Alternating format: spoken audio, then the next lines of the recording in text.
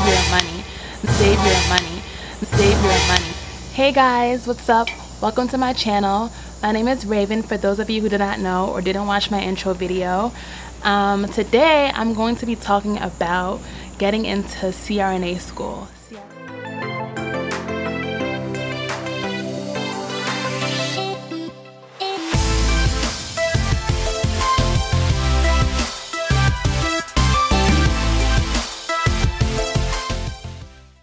CRNA stands for Certified Registered Nurse Anesthetist and I will be enrolling in CRNA school in the fall. Let me tell you, it was a process in order to get to where I am now, even though I'm not anywhere near being done.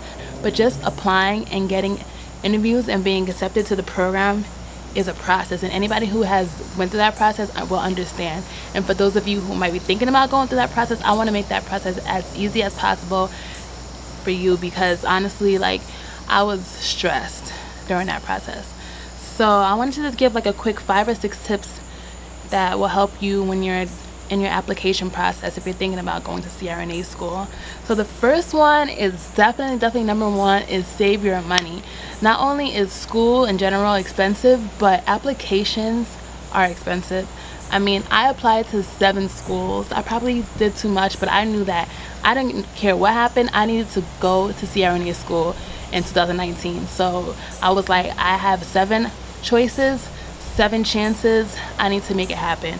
But I will say that I had to save a lot of money in order to make sure I had enough money to apply to schools. Some schools applications are as much as $100, $115. That's the most I think I've saw. Some are free, but most of the time you're gonna at least pay about 30 to 50 70 100 dollars so it just depends on the school and what their cost is so i would definitely say save your money. Not only that if you get an interview in a school and you're applying to schools across the country like i did then you're definitely going to want to save your money because plane tickets are not cheap hotels are not cheap you know what i'm saying? Like rental cars are not cheap. Everything starts to add up. So you want to be really prepared when you're thinking about applying to school because you don't want to run into the problem of all right i got this interview but i can't even afford to even get to it or I have this school I want to apply to and the deadline is this, but I don't even have enough money to pay for that. So definitely budget your money.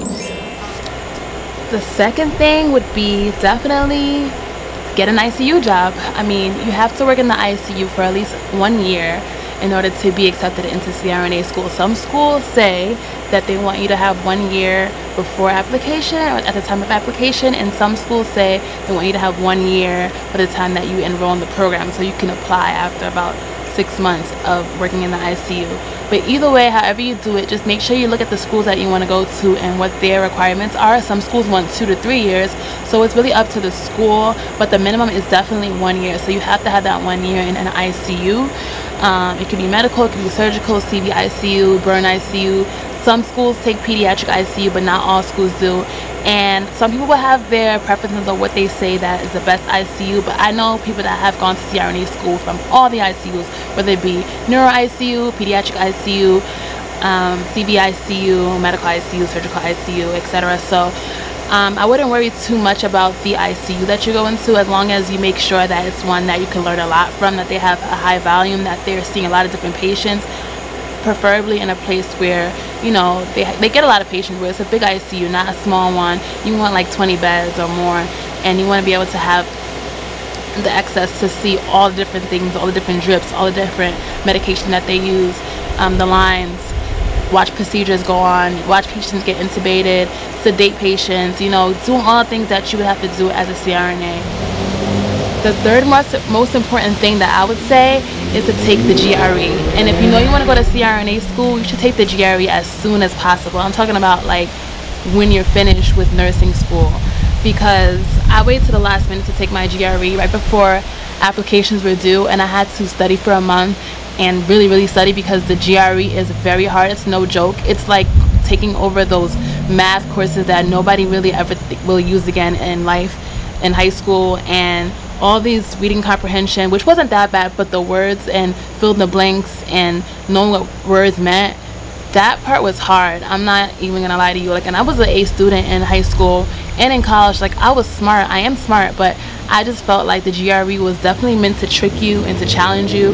And so I would say definitely take the GRE as soon as you can so you'll be less stressed and not rushing like I did. I used the app Magoosh and Magoosh really, really helped me. I'll put the link below for everyone if they want to look at the website and see if that'll be something that would be work out for you. Um, it's a little expensive, but at the same time, like if you want to get that 150 in each category or above, which is what most schools want, then I definitely would say go ahead for it because they actually like have a really, really, really high success rate. And I feel like other programs may not have that, but Magoosh for sure has that. And you can have it and use it for like I think the most like six months or so. But definitely check that website out and definitely study for the GRE because don't think you can just take it and just ace it without even looking at any GRE books. Trust me when I say that the GRE is difficult, but it's definitely something that a lot of schools want, and so you want to have that so you can be more marketable. Depending on the schools that you apply to, maybe they not they not may not all want them, but you want to be more marketable and be able to apply to as many schools as you can. And that it's raining, y'all. I gotta go inside. My bad, guys. So it started pouring raining when I was outside just now. I don't know if you could tell, but we're gonna finish the rest of this video inside let's continue. So the third tip that i have is to take the ccrn now some schools they do not want the ccrn they don't require it. It says optional but let me tell you something. Everyone's taking the ccrn crna school is super competitive. Most schools only accept from as little as 10 to maybe 20 students. I know some schools accept more, maybe up to 30 students, but either way, these schools are getting like 200 plus applicants every year. So you want to be competitive. You want to make sure that your application stands out. And taking a CCRN is something that can definitely do that. I mean it's nice to say that you're a certified critical care registered nurse you know? Just gives you a little pizzazz at the end of your name. So just take the test. It's actually not as bad as the, as the GRE because it's stuff that's relevant to you relevant to your practice and so it makes it better and easier to study for because it's actually stuff that you actually will retain and remember and feel like relates to you so i would say get a ccrn book i used Barron's CCRN book to study as well as Pass CCRN. They have a lot of great questions on Pass CCRN's website, but I felt like Barron's book specifically broke down each topic um, very concisely and it took me like about a month to study for the CCRN using their book and then using the questions on Pass CCRN's website. And I passed that test with flying colors and I only studied for a month. And I was consistent though. I studied every day. I did at least, you know, maybe 20, 25 questions every day. And the questions that I didn't know or that I got wrong, I would go look into the Barron's book and see why I got them wrong. But first, before I started doing too many questions, I actually went through each and every page of the Barron's book in each system and really understood what would be on the test and what I needed to know. So I would definitely say just take the CCRN. Don't even hesitate to take it because like I said, for the GRE, if you don't, you're limiting your options as far as going to CRNA school. And to be honest, there's not many options in the grand scheme of things. So you want to make sure you're like you're really competitive as an applicant. Number five would be to alert your recommenders ahead of time. So all the applications that I did, they all wanted a recommendation letter or they wanted a recommender to actually go on a website and fill out like a survey about you where they rate you in different categories from like one to five. So you want to definitely let your recommenders know ahead of time. You don't want to wait to the last minute because of course everyone has their own life. They have their own you know responsibilities and priorities and you don't want to wait to the last minute and be depending on someone to finish your application. You want to make sure that you let them know ahead of time so they have as even if it's as much as a month or two months ahead of time so that they have the time to fill out that paperwork. It might not seem like a big task to you, but to some people, that's something that they have to do and take out time of their day to do. And so you want to make sure that when they actually get the notification that, that you want them to be a recommender, that it's really ahead of time so that you don't feel like you're waiting on them to finish your application or are they going to make the deadline because trust me i've had it happen not me but i've saw it happen with one of my friends where their application was denied because they recommended it and put in the recommendation letter.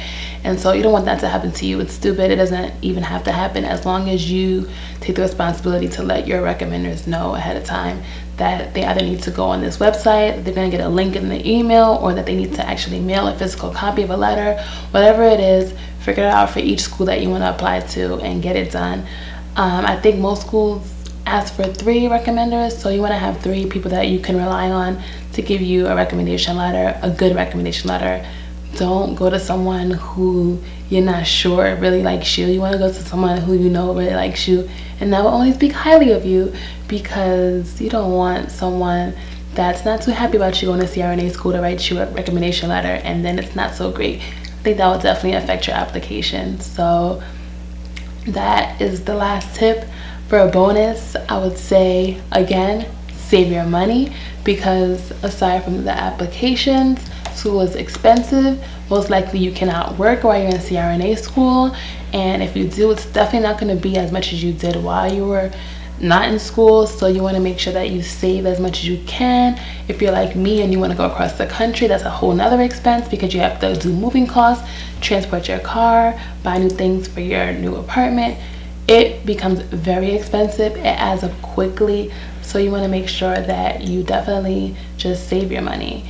And I'm to make a video about the actual interview process next because that's something that a lot of people also ask me about. But I'll make a separate video for that. So if you have any questions, comment below, subscribe to my channel, share this with your friends and people that you know that want to become CRNAs or interested in it.